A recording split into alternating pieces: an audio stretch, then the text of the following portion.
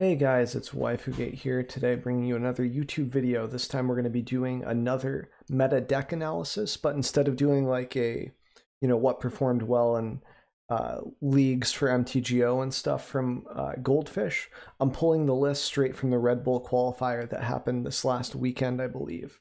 Um, so we're going to be looking at a few of those lists for episode 10 of this um, weekly. I do I do this video weekly. Each week I take lists and I analyze them, kind of figure out like what's good in the sideboard, why is it there, why are they including Gust main deck, etc. Like the choices for the deck, and trying to analyze that and break it down a little, um, and to like kind of sometimes showcase off decks that are seem a little off meta that are still performing really well. On top of that, we have MTGA, uh, Magic the Gathering Arena codes to give away during the video. There'll be one per video. Um, I try to do that as much as I can when I have the extra codes. So somewhere in the video, there'll be some red text, um, and you just jam that into your store for Arena, and uh, boom, you're good to go. So that's a one-time redemption, though. It's not for everyone that watches the video, unfortunately. So if you get the code, you can comment down below on what you might get for the code, um, and that lets us know a uh, if the code's been redeemed. And then B, I keep a leaderboard for fun on stream. Uh, just like, you know, this is the best pull, this is the worst pull. So if you want to get on there, uh, let me know what you get. You know, it's just for a little bit of fun. So that being said, we're going to dig into the list and start analyzing. So let's dig into episode 10 for the weekly meta analysis review. Today we're going to be going over the list for the Red Bull Untapped International. Um, and we're just going to go from mono white, like basically how well the decks did uh, from the top down. It's not quite like first, second, third, because there's a lot of repeats on Reclamation, of course, there. So we're just doing our best to kind of have a variety of deck uh, reviews here. So mono white, Temur, since it did well, and then the next deck that's kind of different would be mono green aggro here. Um, so let's dig into it. Uh, so we've got here, we've got Garrison Cats, Giant Killers. What are Garrison Cats? So just some recursion, basically, sort of like Hunted Witness, but for one mana. Um, Giant Killer, uh, just good removal for Questing Beast. Uh, this can also take down Uros, which is pretty important. I kind of like that against uh, Temur Rec and such. That's not terrible. Plus, you can just tap down their Uro if uh, you killed one Uro or if you develop this early as a one drop, you can just keep the Uro tapped down so they never get card advantage from it. Uh, also, Hunted Witness, so they do run Garrison, so they run eight copies of Hunted Witness basically, uh, which is pretty cool. So that's why they call this mono white tokens, I take it. All right, so Selfless Savior can save a uh, Loxodon or save a Hollowed Blade. Actually, Hollowed Blade can just be indestructible anyway. Ooh, this list looks really spicy. If this list gets super popular on ladder, um, I might consider extinction events even in my uh, Yorion list instead of the time wipes for board clears. Um, maybe have three extinction events, like two of them main, uh, one side, like I have my time wipe set up right now. Um, okay, uh, that series, so, uh, how do you pronounce this? Be solidary. I can't English today. I was already struggling with words before uh, already is very popular. Yeah, I haven't ran into it a lot, but I just started ranked up today, so my sample size is pretty low, Scott. I haven't really experienced it too too much. So lots of indestructible effects. It looks like uh, unbreakable formations, much like old mono white. So like extinction event seems like it would do kind of well, especially since most of it is odd colored, aside from the tokens. And these are all on death effects. So if you can hit an odd colored extinction event quite early in the match, it doesn't seem terrible. Aside from raise the alarm, maybe um, early game. Cry of Carnarium also might be fine. Um, seems like it would wipe out all the tokens, Cry might be pretty good. It doesn't stop the Loxodon, or after the Loxodon pumps these guys, it they get out of range. But if we're able to cast the Cry of Carnarium early, it seems like it would be enough. Uh, Mythic is all Temur and WW, yeah. Um, Glorious Anthem as well. Nice. So old school, just drop a bunch of one drops and then go Glorious. I imagine it might be okay in Historic too, since you have access to um, more creatures as well, like Vanguard, and um, you've got access to the new one drop, the 2 2, like the Kitty Cat. Or it might be, a, yeah, I think it's a 2 2 for one mana. It's legendary. The old one from Kamigawa, I think. I think it was like close to that set at least, if it wasn't quite Kamigawa. And we've got four Ardent Veils, so max number of Ardent Veils and then Plains, which makes a lot of sense. So they have some staying power post game, especially since they can pump out two twos, which is more devastating for sure. Isamaru, yeah, yep, Isamaru was reprinted in Jumpstart, so that's in historic right now. Um, so fight is one, so more indestructibility. Um, destroy target legendary permanent that's an artifact, creature, or an enchantment. Wonder what this is for. It can hit Oath of Kaya. It can hit, um, can hit like Great Henge, Citadel. Uh, creatures in general, I guess Uro. It could kill Uro. Not a lot of legendary enchantments that I know of. Um, but it does hit Uro, which is kind of big. But I mean, they already have giant killers for Uro, so I don't know if they need that. You know what I mean? That just seems like you're um, uh, peeing into the ocean, so to speak. You're not really going to notice it. You know, you're already doing it. Um, I guess pouring salt into the ocean would be a better example, but maybe not. Uh, decrees make sense for mono red, and uh, this can also exile um, stuff from Jund, like stuff like Korvold that might be a little hard to deal with. Like they have Giant Killer, but once again, it's kind of nice. This is also good for Korvold too, but I'm not sure if Jund is really that popular. Um, mono green, it can hit Questing Beast. This can hit Questing Beast. That's big. That's huge, actually. Uh, on top of Giant Killer, I can see that, especially in the aggro lists. Um, just wish this could hit Planeswalkers, but it would be pretty busted if you could because you get to swing with this and then threaten to use the effect end of turn, which is pretty big. Um, Gideon's make sense for control, uh, more indestructibility as well to make that harder to deal with. So lots of like indestructibility and annoyance here for control, um, especially Temur Rec, where like Flame Sweep comes down kind of early and Storm's Wrath does as well. Like Storm's Wrath is very very big, and I think the reason why is because of Gideon. Like you can deal four damage to Gideon on your own turn which is pretty big. The problem is Gideon goes right up to four, so it kind of ignores that anyway, which is tough. Um, Grasp might become more of a sideboard card for me potentially, but I don't know. Just depends. Probably just Extinction Event, honestly, to keep these guys in check or um, something. But looks like a really solid list. Like the sideboard makes a lot of sense to me. Um, caskets can also hit like Stone Coils, which is pretty big and it's really good against mono green because it deals with Garruk's uh, Harbinger as well. Like lots of good tech against mono green, which is the other aggro list, what you're gonna have to race down. And then control is kind of free because you can just shmork them down and see if you win or not with your unbreakables and such. So pretty nice. Yep, I agree with it for the most part. Um, don't know if I would make any changes since I don't play a lot of aggro. Um, the fourth unbreakable here is insane. Like that's four um four, five, six indestructibility effects that are almost global. Like this isn't quite global, but it can save you enough. And then on top of that, you have Hollow Blade and Selfless, so you can just save one or two big targets each turn to make damage leak through, and then you're threatening to like create a 2-2 with the Glorious Anthems. Like it's just insane, man. It's super good, super strong. Might actually switch to this and just grind. It's tempting me. Um, especially since I already have most of these cards anyway, I think. the most part, aside from like maybe the anthems. Um, so yeah, I agree with it. Seems pretty budget too in paper at least. Not in arena, but in paper it seems very, very cheap. Overall. Like how much? Yeah, this is this is definitely the best deck for budget, I would say. Aside from maybe like Jeskai Cycle. If you're looking to actually just spend pennies on a deck, that deck is probably better, but if you're in under $50 this is probably your best and online it's super cheap look at that that's crazy man that's that's basically free the grind events with one of your front runners for red bull uk saturday nice nice pretty sweet all right uh Temur reclamation um so here we've got two night packs main deck that's pretty spicy like just to speed up the process and to catch other control decks off guard. Uh, how many can how many counters? Two, three, four, five. Because I need to study these lists if I want to do better on the ladder, so I actually know what's up. Like I should probably just start keeping tabs on the really popular lists. Like I should just keep this as a bookmark for like a week or two and then replace that bookmark so often for meta lists so I I know exactly what to expect.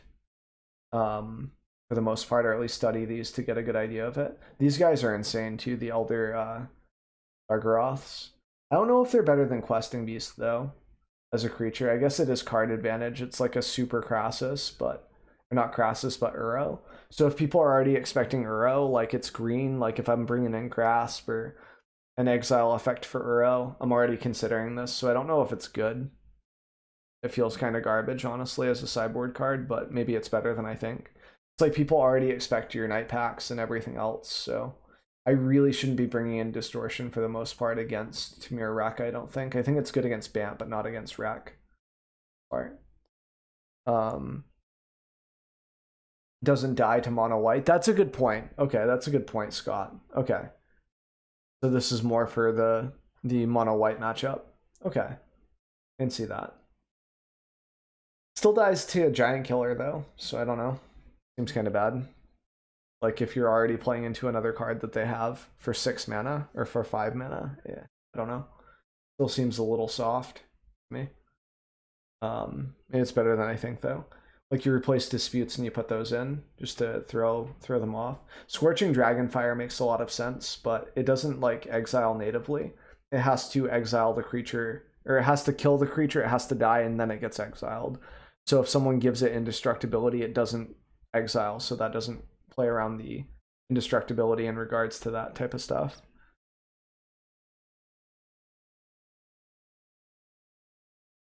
Yeah, you just pressure. Yeah, that makes sense. Makes sense. I just wonder if it's better to like maybe like instead of playing that type of stuff to play like planeswalkers that might do similar stuff like that swarm with tokens potentially. Like there might be a different way to approach it is my thought potentially. Like you can also swarm them with like typhoons since they can't blow up typhoons too easily. Like and that's maybe what the shark typhoon's for as well and they already have they have two blast zones as well, so mono white kind of suffers for the, from that a little bit. Not completely, but it's it's definitely a factor, I think. Nice. Um, so anyway, let's check out the um, the deck and try to figure out what stuff is for. So we've got Uros and Night Packs for threats, expansion explosions for WinCon as well, and Shark Typhoons. Um, yeah.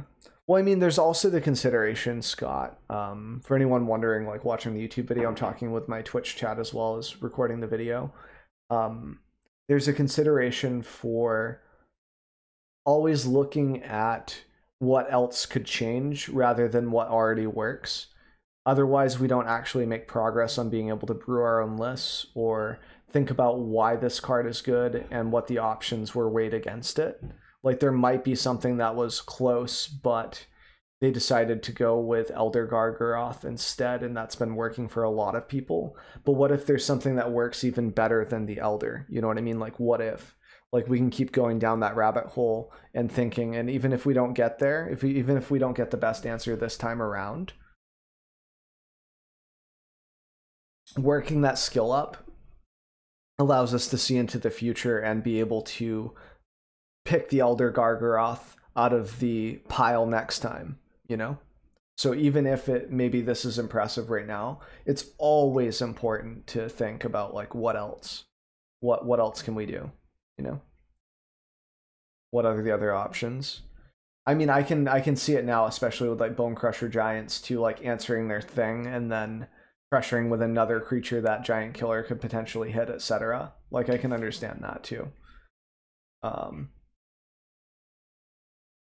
makes sense.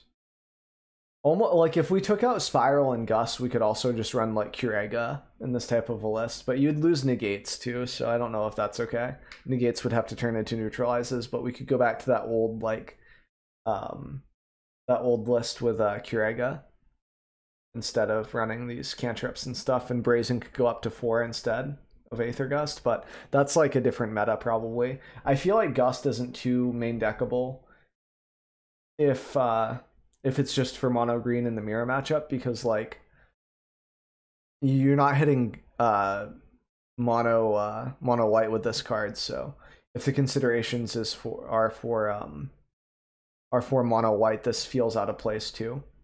So like maybe that could shift us toward Curaga potentially. I might actually try something like that eventually. Like Curaga, swarm people with creatures, etc., and then like have sideboard cards cards that aren't Curaga. That might be a little spicy. That might work. Might throw people off too. So you don't get the whole uh the whole surprise factor like, hey, I'm not fires anymore, but it could be fun. Because a lot of people used to run that deck uh, back when Crokeyz and I think Danny T and someone else were working on it. But seems pretty solid. So five, six, seven counters, pseudo counters, main deck, four expansions, three sharks, and how many lands? 28. Seems good. I like 29, 20, 28, that type of a thing as well. Um, so two, three, four, four counters in the sideboard. I never really understood commence for a win con. Like it's kind of decent, but by the same token, it just gets boned by like Narset. So I don't know. This feels like I've never just understood the power of this card over like other stuff for win cons. Um, like it kind of makes sense, but I guess in the mirror matchup, it's really good to be able to do this end of turn just to chill and get some cards and then uh, get like a 5 5 or a 6 6. But when people are already expecting like Shark Typhoon tokens end of turn, this is like sort of the same deal. Like it's a little different because it draws you two cards, so you go up instead of staying even with the cycle. Um, but it does kind of the same thing, so I don't know. Maybe if you're looking for a Shark Typhoon esque effect, but you already have maximum number of Shark Typhoons, it's pretty decent. It's just it can't pressure Teferi because Teferi can just bounce the token, you know? But I guess if you pair it with something else like a Night Pack or etc., it's kind of hard to deal with multiple, multiple things. Everything else kind of makes sense, especially after Scott pointed out like this whole pressure with creatures type dealio. Um, this is just making me want to play Curaga Reclamation Man again um, with like Bone Crushers and, and Garbage main deck. But we'll see what happens on the stream. I've actually been enjoying Esper quite a bit, so we'll see what happens. I'm probably gonna have an Esper build guide up pretty soon on Monday. Yeah, it makes sense. A lot of the choices here. The only thing that stands out to me is the Gust main deck over something else that might be a little more versatile against mono white. Um, even like a negate for their unbreakable formation when you go to flame sweep or something else. Also, we're not running like any sweepers in this list. It's all spot removal, and then I have bigger creatures than you do. Like I'm just gonna swarm you, man, and bounce the stuff I can't deal with. So makes a lot of sense, I guess. It's a different way to approach it, and I like that new stuff is is always nice. Although this might not be new, this might be um, an old list that I just haven't seen a lot of because I've been playing a lot of historic. I'm kind of out of date on standard, which is why I do these things to kind of refresh my uh, my memory bank on what's good, what's bad, and such. This is really expensive, dude. Breeding pools are uh, are a little little bit of money there, bit bit of, bit of money there. Ten bucks a pop for shark typhoons. And if I wanted to update my EDH list, it would be kind of expensive. Oof. I don't even want to think about it. Um, all right. Uh, what else? Pretty much it. I think I covered this deck okay-ish. Uh, mono green. These guys are a pain in the neck, man. These guys are so crazy. Uh, pelt collectors. So pelt collector into barkhide is the classic, or stone coil into barkhide. Uh, two harpooners. These have actually been killing my uh, Yorions here and there. Been kind of annoying. Like I can just block with Yorion next turn against the questing beast, and they're like, nope. they just touchdown pass and kill me anyway. Pretty tough. Ooze is also really rough against graveyard strats like ECD and Eerie. This is one of the main reasons why I stopped running Eerie Ultimatum for the most part. Like this guy just eats the whole deck, like the whole uh, graveyard synergy that I like two Gemrazers. I like Gemrazer at three, but you can only have so much room. And four primal mites for removal makes a lot of sense. This can also be like a win con. Like this can punch through really, really hard. And two two Nissas is actually pretty interesting too, because this turns your um your lands into creatures. And it ramps you so you can like do really obnoxious stuff like eat all of the graveyards ever with ooze and just one shot your opponent. Um, play multiple creatures with uh, Great Henge. Like it just keeps gas going, which is crazy. Like especially if you castle Garenbrig. I wonder why 22, like 24 lands total, and not like three or four Garenbrigs. Because I've seen a lot of lists go with with max copies of this just for uh, big stone coils and such. But maybe there's some reasoning, some math behind that. I'd like to like to talk with the deck builder about that because that stands out the most to me. I think. Um, I mean, it must just it must just be that they don't want to see like two Castle Garenbrigs in their opening hand, um, even though the chances are kind of low with that. Um, and then like not be able to play their one drop out or their two drop on curve. Yeah, it makes sense. Nissa plus Primal Might is often just Fireball. Yeah, oh yeah, yeah I can see that. Yep. That makes sense. Especially on something like a like a stone coil with like trample or something. Like it'd be pretty crazy. Um I can see that a lot. Like blow out the last blocker, swing through, GG. Crazy. Especially with like questing beast or something too. Like you just have death touch. So this could even be like for plus one fight and then boom, your creature's gone. Now it can't block and my questing beast is gonna go face after like drawing with great henge into it or something, like and just doing primal might for like two. Be pretty insane. Uh, Ranger's Guile, target creature gets uh, you control gets plus one plus one and hexproof until end of turn.